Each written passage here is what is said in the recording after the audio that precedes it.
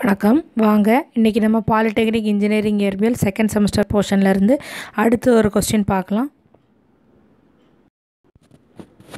அடுத்த கொஸ்டின் என்ன பார்க்குறோம் அப்படின்னா வெப்ப மாற்றீடற்ற நிகழ்வு அல்லது வெப்பநிலை மாறும் நிகழ்வு விளக்குக. இது நேற்று பார்த்தா அதே கொஸ்டினை மாதிரி தான் இருக்கும். ஆனால் அதனால் கொஞ்சம் தரவாக படிக்கணும்.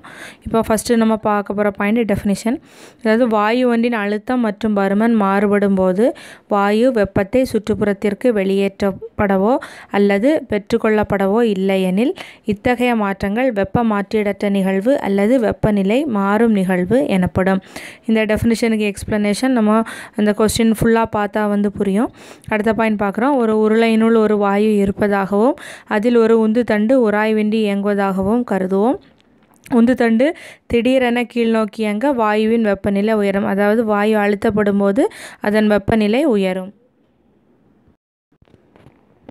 அடுத்த பாயிண்ட் என்னென்னா உந்து தண்டு திடீரென மேல் நோக்கி அங்கே வாயுவின் வெப்பநிலை குறையும். அதாவது விரிவடையும் போது வாயுவின் வெப்பநிலை வந்து குறையுது. இப்போ உருளையும் உந்து தண்டும் வெப்பம் கடத்தா பொருளால் ஆனது. எனவே வாயு வெப்பத்தை வெளியேற்றப்படவோ அல்லது சுற்றுப்புறத்திலிருந்து பெற்றுக்கொள்ளப்படவோ இல்லை. இது இவ்வளவு தான் நம்ம வந்து டெஃபினிஷனில் எழுதியிருக்கோம். டெஃபினிஷன் ஒரு தடவை கூட திரும்ப பார்க்கலாம். திரும்ப டெஃபினிஷன் பார்க்குறோம். வாயு ஒன்றின் அழுத்தம் மற்றும் பருமன் மாறுபடும் பொழுது வாயு வெப்பத்தை சுற்றுப்புறத்திற்கு வெளியேற்றப்படவோ அல்லது பெற்றுக்கொள்ளப்படவோ இல்லையெனில் இத்தகைய மாற்றங்கள் வெப்ப மாற்றீடற்ற நிகழ்வு அல்லது வெப்பநிலை மாறும் நிகழ்வு எனப்படும். இவ்வளோ நேரம் நம்ம சொன்ன அந்த எக்ஸ்ப்ளனேஷனை தான் டெஃபினிஷனாக நம்ம எழுதியிருக்கோம்.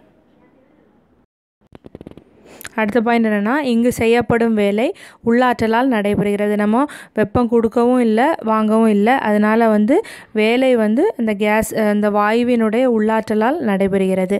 வெப்ப மாற்றிடற்ற நிகழ்விற்கான சமன்பாடு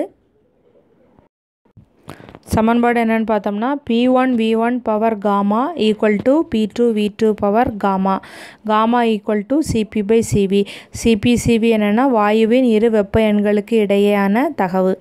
அடுத்தது அடுத்து அதுக்கு கீழே இருக்கிறது படம். இந்த கொஸ்டினும் two mark three mark five மார்க்கில் கேட்கப்படலாம். டூ மார்க்கில் கேட்டால் மொதல் டெஃபினிஷனும் formula P one P V one gamma equal to P two V two gamma gamma equal to CP by CV எழுதணும். அடுத்தது த்ரீ மார்க்கு கேட்டாங்கன்னா டெஃபினிஷன் ஃபார்முலா ப்ளஸ் அந்த explanation கொஞ்சம் சுருக்கி எழுதணும். ஃபைவ் மார்க் கேட்டாங்கன்னா இதை அப்படியே எழுதணும். இதை திரும்ப திரும்ப கேளுங்க. எக்ஸாமுக்கு ப்ரிப்பேர் பண்ணிக்கோங்க. நன்றி வணக்கம்.